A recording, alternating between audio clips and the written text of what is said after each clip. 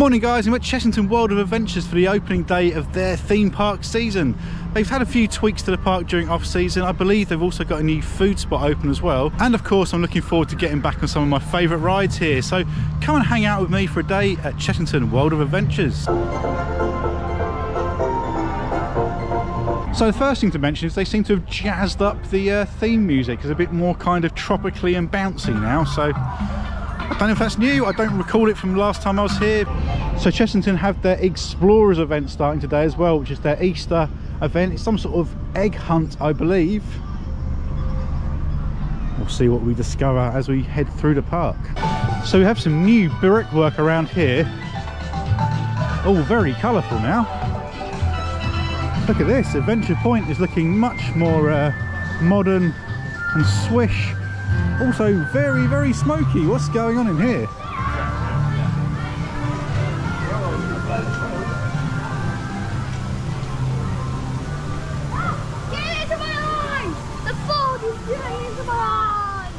There's some weird uh, smoke bellowing out of there. Random. It seems um, slightly sinister looking grey cloud there. I think it's just an effect say the music is very loud on park today. It does help with the atmosphere. Uh, might mean the sound's not so good on the video though. Not sure if it's me but it's all this pathway around here feels very new. So I'm not sure if they just scrubbed it up really well or if they've laid some new pathing but it does all look and feel quite fresh. I think I'm gonna head to Dragon's Fury first today as this has spited me the last two times I was here and it's been a while since I've ridden it and you get a really good view of Mandrill Mayhem's inversion walking through from this way now. Maybe some of the trees have been trimmed down a little bit, but I don't remember this view being this clear before.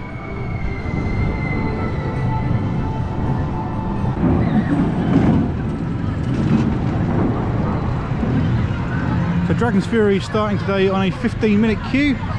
That's not too bad, it's usually uh, one of the longer lines here are a few school trips today so not sure how busy it's going to be. This lone dragon head thinks you should subscribe to the channel and like the video. Just had my ride on dragon's fury here. Uh, that's a really good fun family spinning coaster and also a lot better than spinball was at, at alton towers for two key reasons. Firstly this has a much longer sprawling layout which i think really adds to it. But secondly they allow single riders here which alton towers don't do which i find odd for two parks owned by the same company, two similar rides operated by the same uh, manufacturer. Anyone know the reason why? Glad I rode it when I did because it e-stopped immediately after I got off. And a theme park lesson for you. Always do the ride you want to do when you first get here. Bourbon kick! Yeah, someone has literally scattered bourbon biscuits on the floor here. Either that or it started raining them, which um, would be an improvement on water. They've already gone all in with the topiary animals at Chessington now. These are like the sort of grass equivalent of all the Lego figures you get at Legoland now. It's quite cool though. So the steam above the carousel seems to be a more manageable level now and less, looks less like a disaster. So all this new brickwork around here looks really cool. Like the adventure games looks really fresh and cleaned up.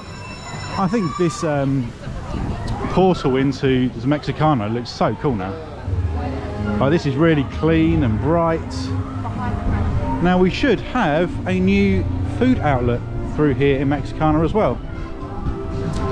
I believe the Mexican restaurant has been replaced with some sort of chicken and loaded fries place. Yeah, this looks really nice through here, doesn't it? Well, apart from the uh, tape by, by the guttering there, that's... I don't know, maybe it's some sort of authentic theming and I'm just not getting it. The Scorpion Valley remains closed for what appears to be the foreseeable future. It is all very, very closed off down here. There's been no announcements about it at all by the park. So it looks like this is going to be closed off for the season. Who knows if it will return. So Rattlesnake is currently closed as well.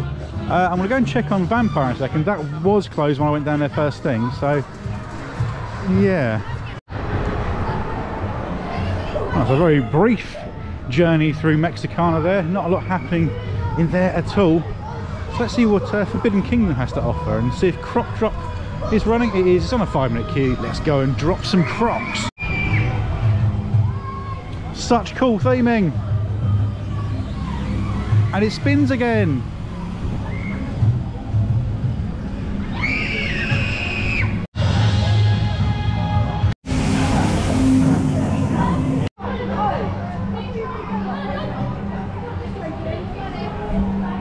Well, a very short five minute wait for Croc Drop there. In fact, as I entered the queue, I got uh, batch straight into the loading area there, so that was quite useful. I really like Croc Drop. It's obviously aimed at younger guests, but the theming's fantastic. It gets your guts. What more can you ask for? So I was going to have a look at Tomb Blaster, but it appears to be closed all day because it's undergoing a health check on the opening day of the season. I mean, they've had about five months to uh, get its health into a better condition so maybe they need some better surgeons. Get really up close to the uh, one of the Dragon's Fury cars here in the maintenance shed. Like I could almost reach over and touch it. So one of the nicest themed areas of Chessington is Wild Asia. They do have a few family rides mainly the Jungle Bus there. They have the Monkey Swinger which also looks to be closed. And of course Cobra their Zamperla Mega Disco it's mega because it's got a hump.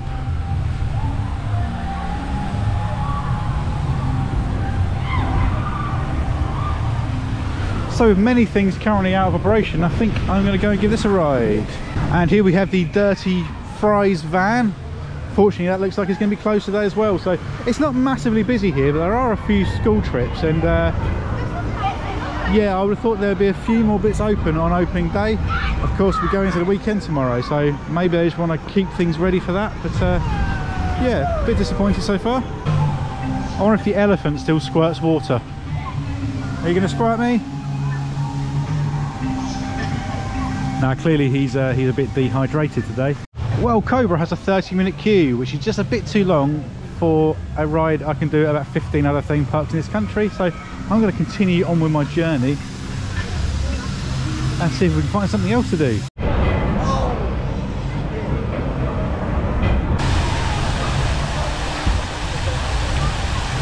Love all the tuk-tuks randomly hiding around behind all the trees.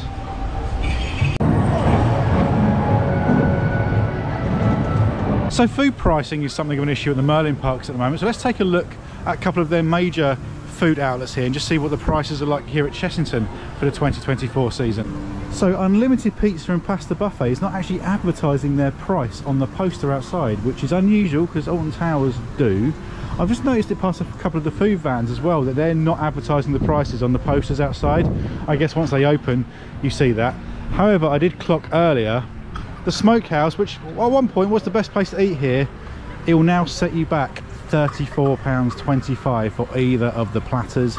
And that's if they even have the items available which they didn't when I came last year.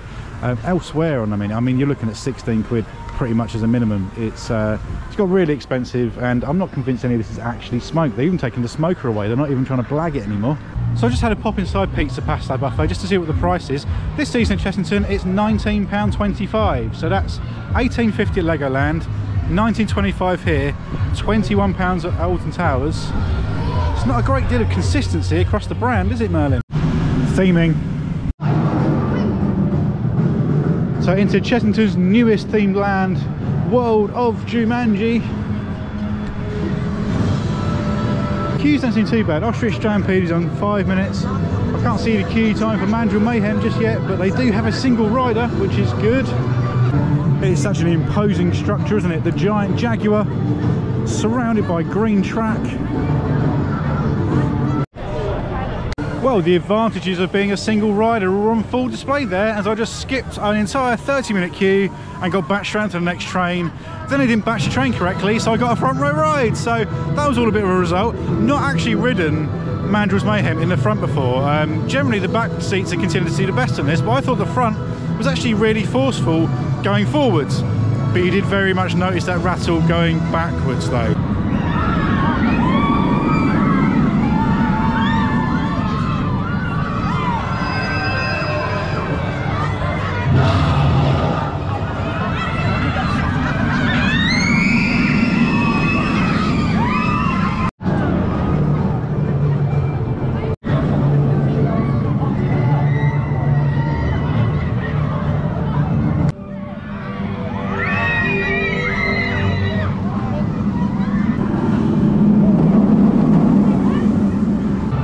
A year from opening and uh, Jumanji's sort of settled in quite well I think. Some of the trees stripped back down here do take away from it slightly but I think once they've grown back and it sort of feels more surrounded in sort of lush vegetation again I think World of Jumanji will uh, continue to do well here at the park. I still do think Mandrill's Mayhem was a strange choice of roller coaster though. In a park which does suffer from a lack of high capacity rides, putting in a shuttle coaster with only one train, odd decision, but people seem to like it. What do you think? Well, Dragon's Fury is closed again. I think he's hiding from the public because he doesn't want any awkward questions. So it looks like the loaded fry place opened up, so I think this is where I'm going to grab a bite to eat. Looks pretty good. Let's go and check out the prices. So I've got my loaded fries. I went for beef barbacoa and a can of Coke. So all the loaded fries are £10.50 individually, cans are 2.50 uh, for a full fat or £2.20 for the diets. With Merlin discount it came at 10.60 all in, which is not terrible considering the prices we've seen elsewhere today. But let's do the taste test. So those loaded fries are actually pretty good and it's rare for me to say that about food at a Merlin park. So I'm quite happy with that. Unfortunately, the weather less good. It's got a bit grim. So heading into quite a damp land of the Tiger. Just seen that Tiger Rock isn't actually opening all day today. Um, which, to be honest, is not much of a blow in this weather. But there's quite a few rides that are, that are not open today and don't appear to have been scheduled to open today, which on the opening day of the season, I don't think you can give Chessington much credit for that. although the water is running so I guess there are no major issues there but uh, yeah we'll go and have a look anyway see if we can find a tiger so you can't actually get any further than this. So it's all blocked off. You can't even walk down to Tiger Rock at all.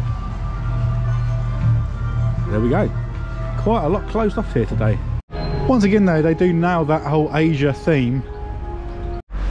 And with Tomb Blaster closed it's all quite quiet through here too. Just a few people grabbing the uh, undercover sections for a bit of food so Rattlesnake is still showing it's closed. However they are cycling trains so it could be that it's about to open imminently. You can see staff down there in the station just getting some trains ready. They have a lot of trains out on track too at least four down in the station by the looks of it. So if this opens I shall get a quick ride on it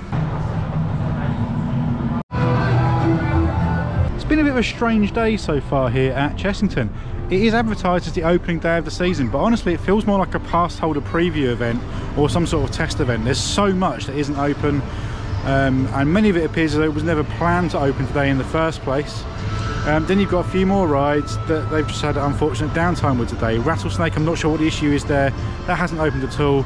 Dragon's Fury has been up and down a couple of times. It was closed when I walked past. It seems to be open again now, but it's been about three times that that's shut down today. So, yeah, an awkward start to the season so far. So with the weather being what it is and the ride availability not being great either, and those that are available have got fairly reasonable queues in this weather, I thought let's take a trip through the Trail of Kings see which cool wildcats we can find it is a bit more shaded in here as well which is nice so it kind of keeps you out of the damp. And hopefully we get to see some awesome animals. All very quiet and peaceful in here with a mystical air of urine.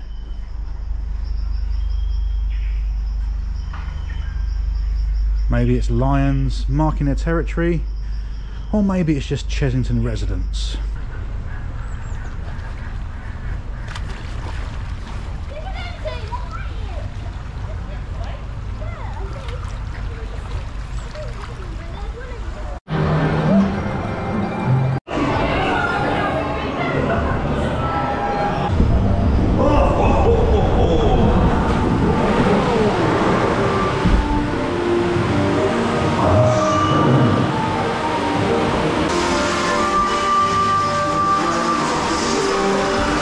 Gruffalo was fun as it always is. Uh, some cool little effects in there. Got surprisingly wet a really massively wet elbow, which is not what I was looking for today. But the rain has at least eased off out here. Unfortunately, ride availability not getting much better as Blue Barnacle is also closed for the time being. Oh dear! Dragon's Fury looks very broken again. There's a train stuck up there on the gantry and two members of staff there trying to fix something. All these health check signs suggest that the uh, park's infected by some sort of virus. What is going on, Chessington? Is COVID back? It doesn't quite have the same magic as Disney, does it? Well, Rattlesnake looks as though it's open, so I'm going to go and get a ride on this Wild Mouse. This is, of course, the only ride here that has a 1.4 height limit, and yet it has a 50 minute queue. I might draw the line there. That seems far too high. Let's go and investigate.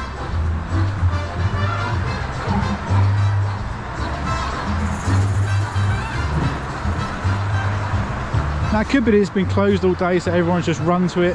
There are a lot of school groups here. Uh, I also think I've come... What is going on with this queue line? So I think I'm supposed to go down here. And I'm going back on myself. So let's have a look at that queue. Oh yeah, that looks that looks quite beefy.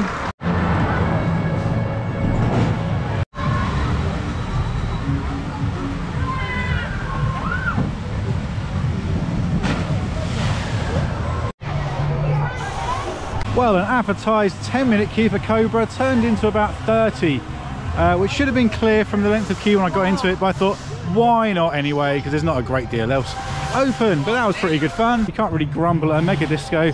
There's just a few too many of them, but although to be fair, Chessington were one of the early adopters with Cobra before everybody else jumped on the disco bandwagon.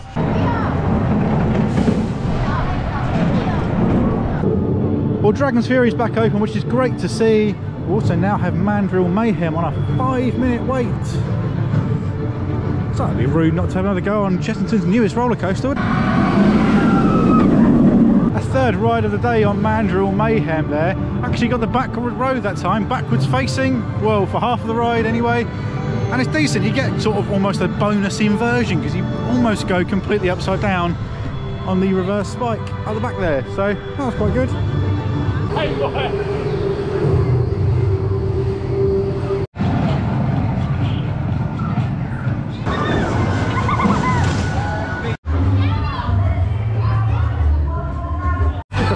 action going on here. Good hopping! Right, we've got to have good balance, so. So interestingly, they've left up all of the queue line and various buildings for their Christmas event. They still even have Christmas trees behind there and some fake snow on the ground in the distance. I mean, why would they leave all this up? You think you could just repurpose it to something else? Again, more sections just closed off. It is a very odd, odd opening day here at Chessington today, I can't lie.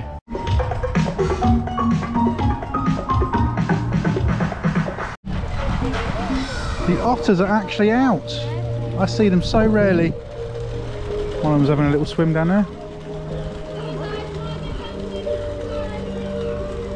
You know what? It's been a while since I've done sea life. Oh, we've got some dories.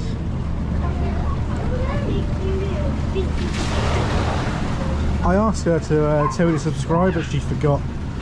Useless. Look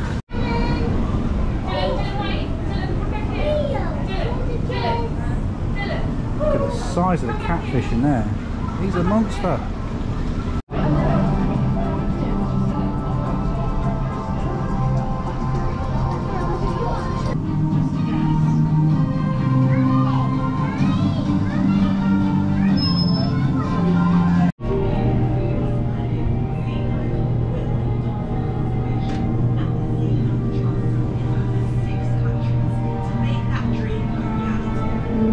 Not the biggest or most impressive sea life centre, but it's still a really nice way to break up the day, and I'm glad they've got it here at Chester. At the far end of the park, you do have the Azteca Hotel.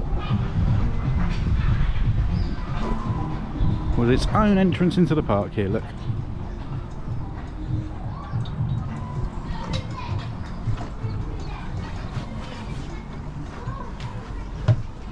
Right, let's go find some monkeys. Well, after a lack of monkeys, we have found one up the back there. He nearly slipped. Oh, here they come. We've got a whole parade of them. A cacophony of monkeys. These are squirrel monkeys. I mean, they're sort of they're top ten monkeys, but they're not like you know elite status monkeys like a squirrel monkey or a macaque or something like that. List your monkey rankings in the comments. Well, Vampire is still looking a bit closed with just an ominous back soon message on the entrance. It's three o'clock now, so I'm not too optimistic this is going to load, although I am hearing I mean, there's clearly people on it, so I'm not sure what that sign is all about. Might as well join the queue. Vampire has some great queue line theming. As you can see as you walk through, there is uh, no stone unturned, although maybe there should be. But the piece de resistance is when you get into the station itself, and I'll show you what I mean in just a second. Save us! Create your own personalised souvenir. Well, it's completely empty in here, probably because they're advertising the ride is closed. But check out the awesome organ player, legendary theming.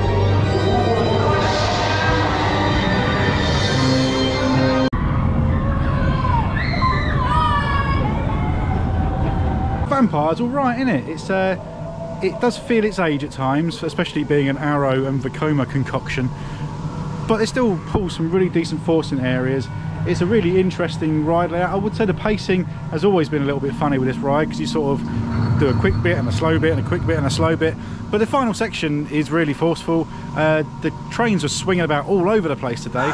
There is a little bit a little bit of vibration there as you'd expect with something this old but yeah Vampire still I think stands out as one of the best and certainly one of the most unique family coasters we have over here. So hopefully it still has plenty of life left in it. So with all the major coasters ridden bar Rattlesnake and most of the other major rides that I'm interested in that are open today ridden as well I think I am going to call it a day. It's been a very strange one at Chessington today and I, I, want to preface it by saying strange and not bad. It's certainly not been a bad day by any stretch of imagination but it hasn't felt like a theme park that's fully operational and it's opening day uh, and I do think that's that's a little bit of a concern there's definitely a sense on Park today that uh, they weren't quite ready to open. It does feel as though they've been caught short almost, which is strange because this opening date has been in their diary for quite some time now. So with all that being said though, there have also been some really positive things today. Uh, it was great to get back on Dragon's Fury, although it had tons of downtime. That ride has spited me the last couple of times I've been here, so it was great to actually ride one of the best spinning coasters in the country. Um, I also think we've got some reindeer down here, by the way.